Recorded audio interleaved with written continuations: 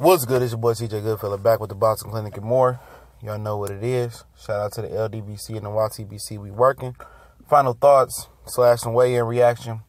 Y'all know how we do it. Um, and um, you know, for every major fight, we gave it final thoughts on it. You know, the Friday before the fight, if it's on Saturday.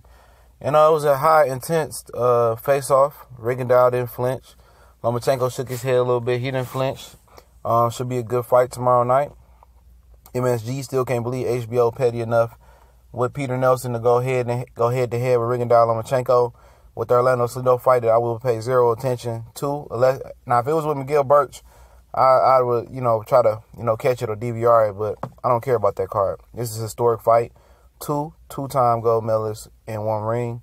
Um, Rigondeaux came in at 128.4, which is obviously a career high for him on a professional level.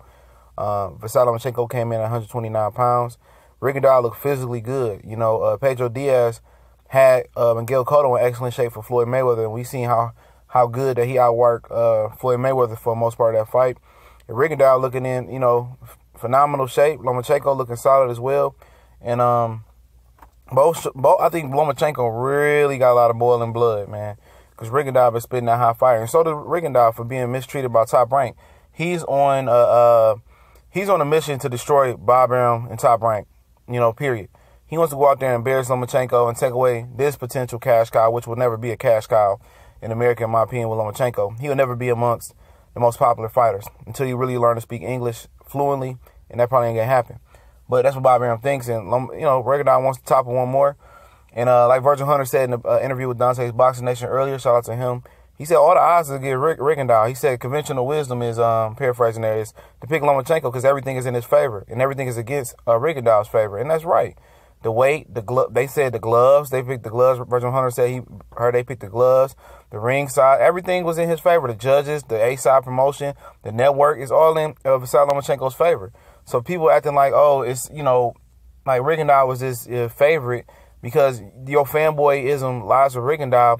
Clear your mind up look at everything he has to topple. And um, he is a special fighter that can topple that. But if you would you bet your life on it? Would you bet a, would you bet your life on Rigondeaux winning this fight? Absolutely not. You know.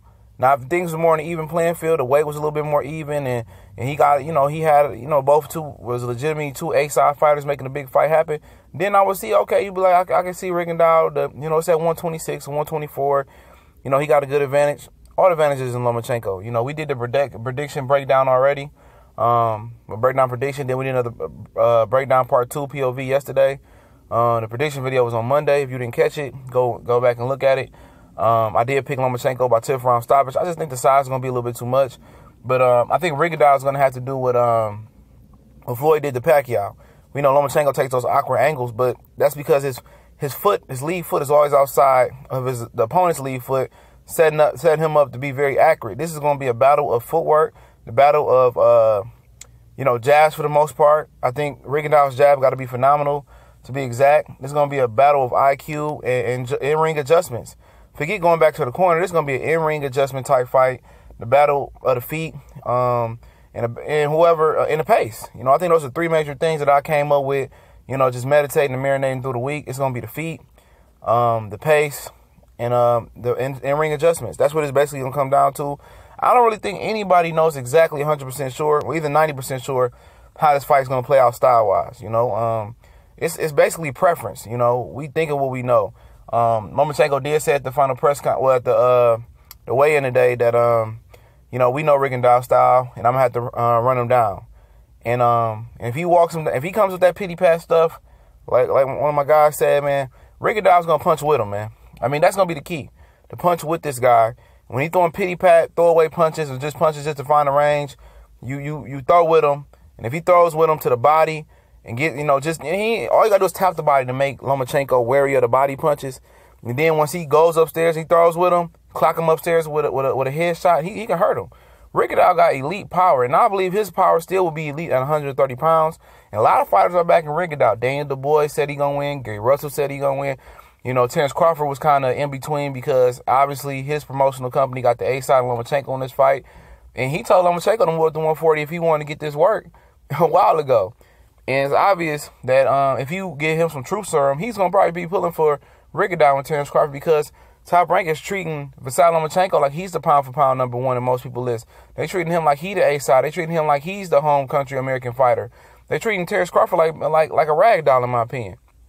A third rate guy. You know, there's more guys they promote better than than Terence Crawford. Didn't show uh, a unification bout commercial or a promo with Julius Indongo until the Friday before the fight.